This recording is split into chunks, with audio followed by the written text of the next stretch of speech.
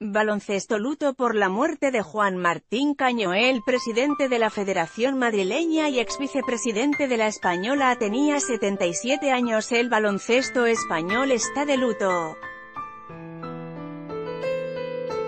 Juan Martín Caño, presidente de la Federación de Baloncesto de Madrid, FBM, y ex vicepresidente primero de la Federación Española, FEB, falleció la noche del domingo a los 77 años de edad en la capital de España. Martín Caño fue también presidente interino de la Federación Española como sustituto de José Luis Sáez y jefe de equipo de la selección absoluta entre 2012 y 2016. El actual presidente de la FEB, Jorge Garbajosa, al igual que el seleccionador nacional, Sergio Escariolo, quisieron transmitir sus condolencias por la muerte de Martín Caño.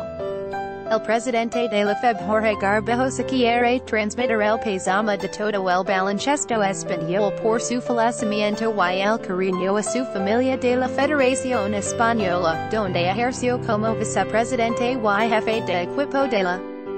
mujer, Margarita Ibáñez, pero continuaba trabajando al frente del organismo al que ha estado unido desde hace tres décadas, ya que en 1988 fue elegido vicepresidente de la FBM, como jefe de expedición de la selección masculina. Martín Caño participó en muchos de sus recientes éxitos, un Mundial, 2006, 3 Eurobaskets, 2009, 2011 y 2015, dos platas olímpicas, 2008 y 2000 2012, dos platas continentales 2003 y 2007, y un bronce 2013, descansa en paz Juan Martín Caño. Hemos compartido tantos momentos bonitos en la selección, y en muchas ocasiones tu ayuda ha sido muy importante, mi más sincero pesame a la familia, Sergio Escariolo, arroba Sergio Escariolo, 13 de agosto de 2018.